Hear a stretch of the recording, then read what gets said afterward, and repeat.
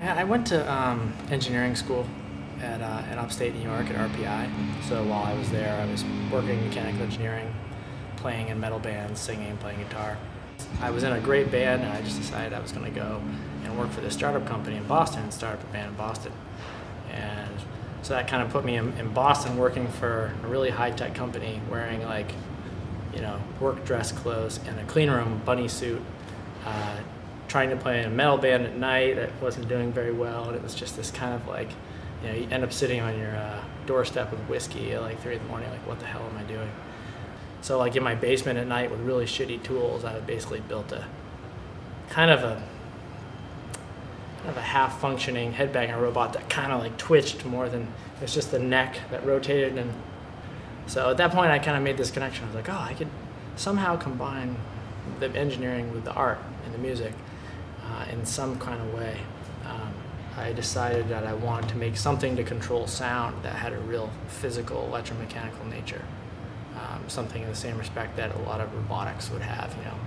So I built the throttles and I was like, I'm gonna make a really simple bass controller that pushes back at you, like in the way the bass does. So the way you you know you control the bass, but it also you know you can feel bass on your chest, and you kind of feel it push against your face, but you also uh, I wanted the controller to do the same thing. So the, there's motors in the throttles that as you're trying to push on, in the same way that like an autopilot on a plane would, yeah, you're trying to control it, and it's pushing back.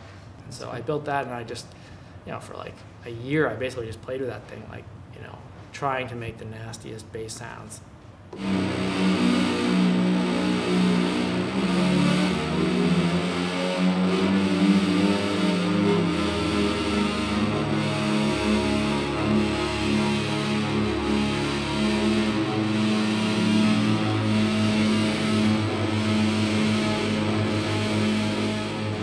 I wanted these to be simple. I, I just you know, people when they walk up to it, they know what it's for. It's like, oh, and it's a, it's an instrument. It controls bass. You know, two bass signals that you can cross over their frequencies, and it's like, whoa, whoa, whoa. You know, and you every once in a while you get that resonance that shakes the whole room.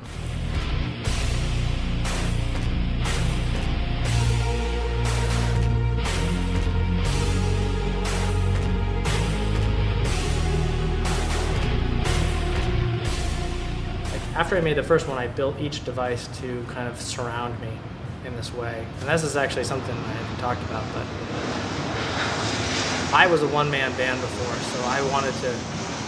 That's ridiculous. You get up there with a guitar with your laptop, and that thing got really old to a lot of people really fast.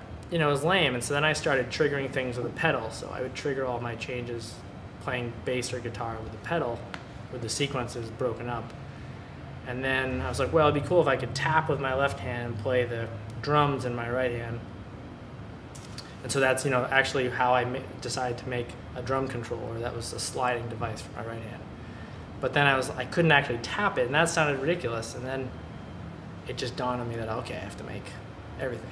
In surrounding you, so things you could do, you know, with one hand, you could do together, and they would all be next to each other.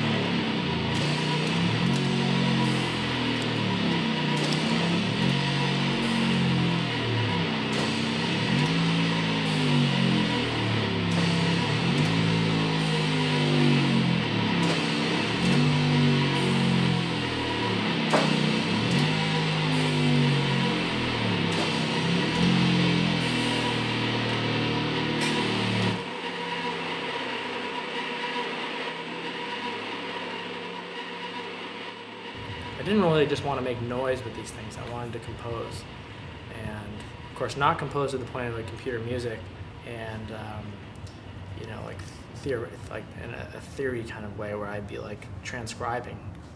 But I also didn't want to just make noise, like knob turning, like you know, wall of noise kind of stuff. And so, yeah, I would have to basically learn, practice twice after I built the damn thing for a show, and then I don't know if anything's gonna break and and a lot of times things did. You know, like the chain would break, and it's not like you just you broke your string. It's like oh, a chain broke in the sprocket. I have to go to you know, I have to go to industrial warehouse and buy another one. So you're you're kind of screwed. So it was kind of stressful.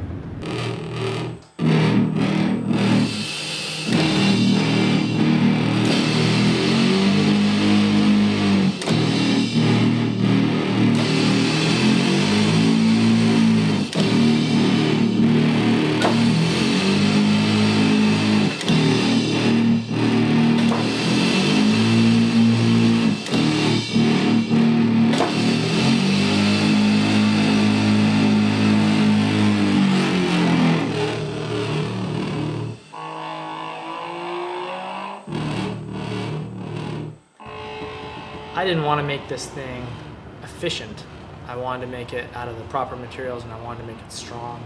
And it had to have weight because, you know, in, in Doom or in drone influence stuff, I really, you know, that's, I wanted to be able to, you know, you get that like trance like Doom thing, you know, where you're either stoned or, you know, whatever, you're just really into it and it has weight to it. So I, um, each of these devices had to have that weight, and actually weight corresponds to like quality material. So I think in sculptural terms that works out together. So you know, like I, I avoided using aluminum as much as possible because it breaks down and it kind of it crumbles and uh, or it doesn't crumble, but it, it wears down. Um, but steel is much better, but steel also rusts. But you can use rust to your advantage. So if you use steel, you want it to be something that you're touching. So you're constantly kind of polishing it with your hand. A lot of times it's hard to get all these things set up at one time, you know, like, because actually to get it, after a show, it takes fucking forever to get everything set up. So, you know, at, when, you're, when you're waiting to get everything, you're, or something broke and I've got to go to the shop or I ordered a part. So I'm like, okay, I'm going to be really efficient write the song in my head beforehand. I'm walking around at school and I'm like, okay, I just wrote a song that I think will work on this device. And then when you actually down the thing, it totally doesn't work. and so you, you somehow it's I guess it somehow it would be a starting point, but I'm I'm constantly being like uh, reconfigured by the devices. Like I think something's gonna work, and then it's like oh fuck that didn't work at all. And so then I have to sit. I think there's no way to avoid just the painful, like down and dirty, like I don't know, uh, repetitive use of the things like.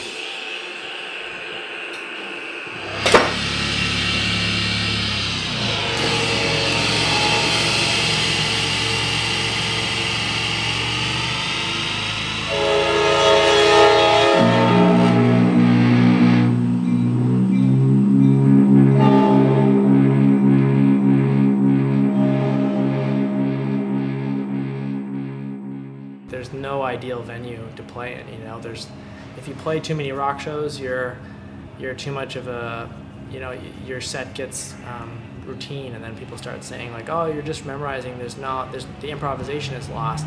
So from the contemporary art side, everyone they blow it away. You know, but if you play too many art scenes where there's you know people with wine and cheese, and you're like making like art doom metal, it's kind of like being a graffiti artist painting the walls of a gallery. Uh, so then then then like your core like metal like doom roots are gonna go against you. So,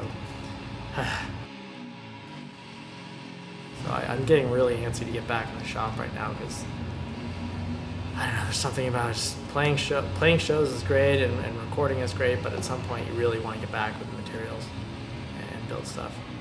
I miss it.